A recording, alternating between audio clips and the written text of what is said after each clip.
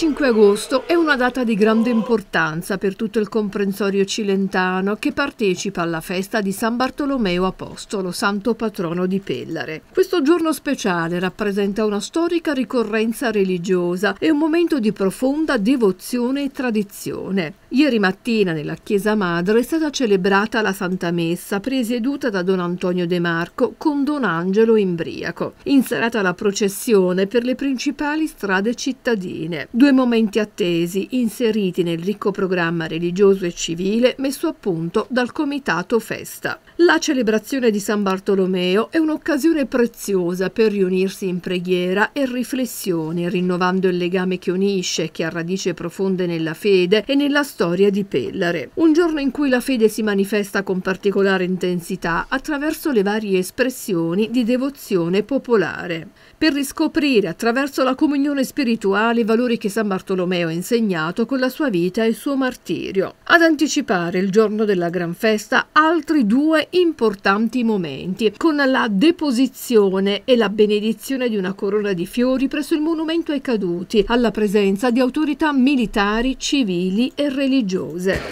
Affidiamo al nostro santo patrono San Bartolomeo speranze e propositi per riuscire a costruire sempre più una comunità, una nazione, un mondo intero di tutti e tutti. Viva San Bartolomeo, viva la nostra comunità, viva l'Italia. È in Piazza degli Eroi gran galà di musica operistica eseguito dalla Banda Città di Francavilla Fontana e dalla Grande Banda del Cilento.